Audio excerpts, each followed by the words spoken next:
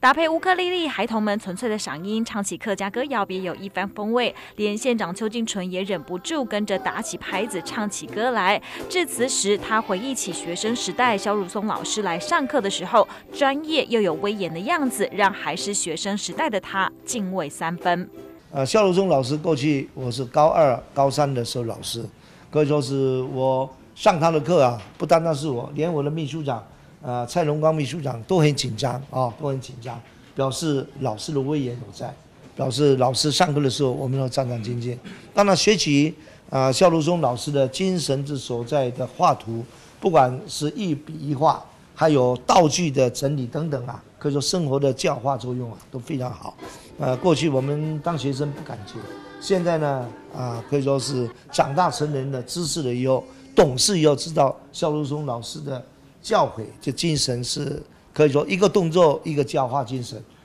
样样都带给我们怎么样去为人处事。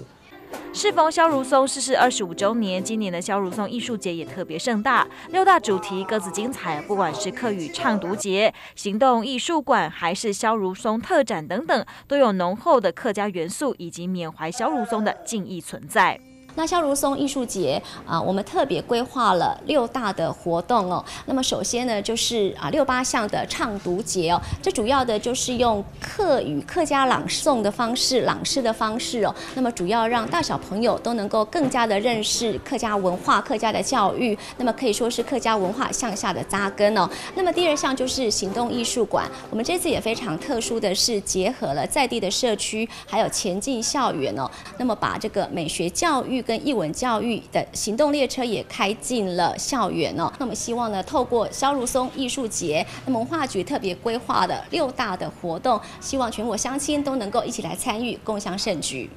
系列活动从即日起登场，会一直持续到十一月十七日，长达三个半月的活动，邀请大家进一步来认识一代大师肖如松。凯波新竹陈洛一红蔡文琪采访报道。